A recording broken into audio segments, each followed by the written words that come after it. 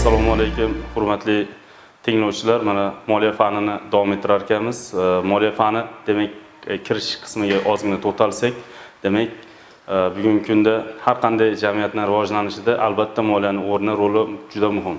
Demak barchamiz buni keng o'rganishimiz bilishimiz lozim bo'ladi. Demak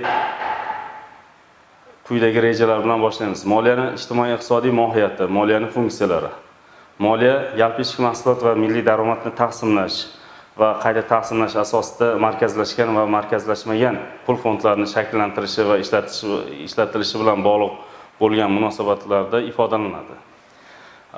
Demak e, moliyani o'ziga xos xususiyatli belgilari ham mavjud. Demak bu pul mablag'larini harakatining odatda bir tomonlama yo'nalishga ega ekanligi markazlashgan va markazlashmagan e, pul fondlarini yaratilishi va Э, munosabatlarda davlat tomonidan tartibga solinishi real pullar harakatiga bog'liq bo'lgan э, huquqiy normalar va biznes yuritish etikasiga asoslangan munosabatlarni taqsimlash harakatidaligi ekanligi bilan э, izohlanadi. Yana bitta narsani aytishimiz mumkin. Mana shu butun bir jamiyatni yalpi ichki mahsulotini taqsimlash va qayta taqsimlash jarayonida demak aks etadi va markazlashgan va markazlashmagan pul fondlarini shakllantirish jarayonida foydalanadi deb aytdik. Markazlashgan fondlar bu o'sha davlat byudjeti byudjetdan tashqari fondlar markazlashmagan pul fondlarga shu e, aytadigan bo'lsak xo'jalik yurti subyektlari moliyasi sug'urta tashkilotlari moliyasi va uy xo'jaliklari moliyasidan iborat bo'ladi.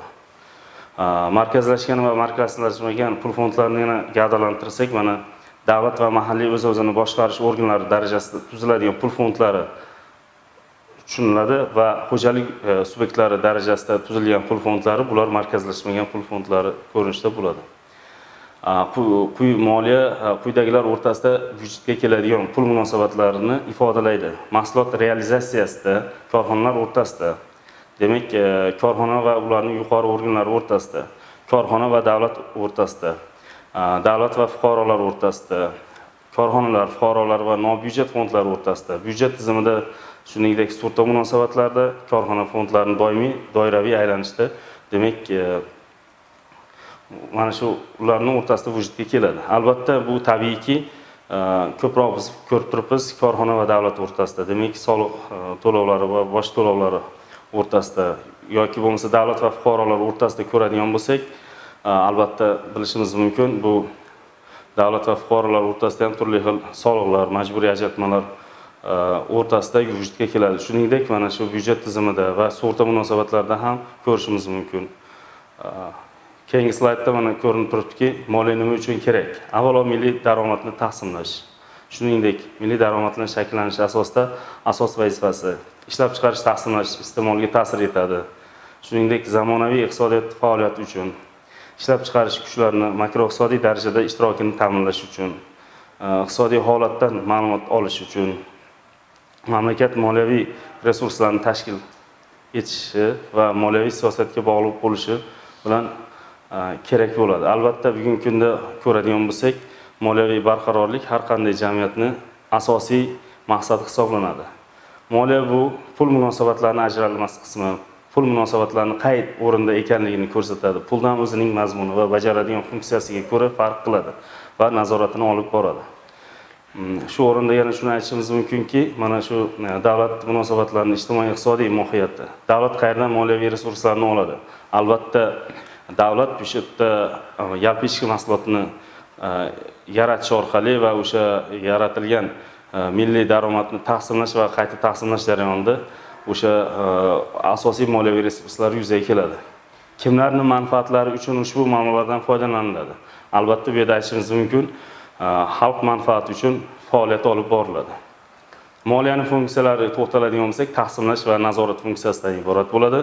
Bu funksiyalarning bir vaqtda amalga oshirilib yalpi ichki mahsulot va milliy daromadni taqsimlash hamda e, taqsimlash ustidan nazorat olib borilishi tushuniladi. Taqsimlash funksiyasi iqtisodiyotni turli rivoj e, darajalarini o'z ichiga oladi. Ko'p bosqichli jarayon milliy daromadni birlamchi taqsimlash iqtisodiyotda rivojlanishni ta'minlash aholi turmush darajasini oshirishga qaratilgan bo'ladi. Albatta bu ko'rib turishimiz mumkin.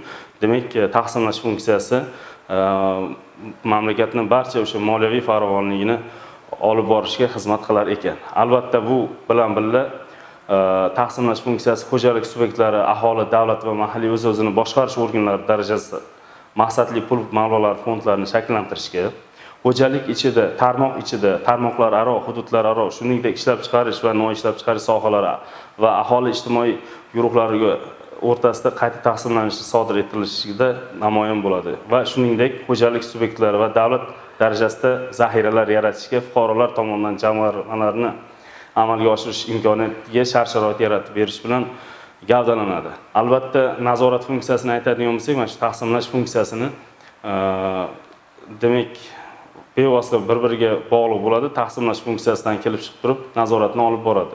Ya'ni bu ham yalpi ichki mahsulotni nazoratini olib borish moliyaviy resurslar harakatini ustidan nazorat nazorat ishi sifatida resurslarda samarali foydalanishni ta'minlaydi. Ishlab chiqarish va noishlab chiqarish sohasini to'liq qamrab oladi. Qonunchilikka rioya qilinayotganligi ustidan nazoratni olib boradi. Daromad va xarajatlarni bajarilishida amalga oshiriladi.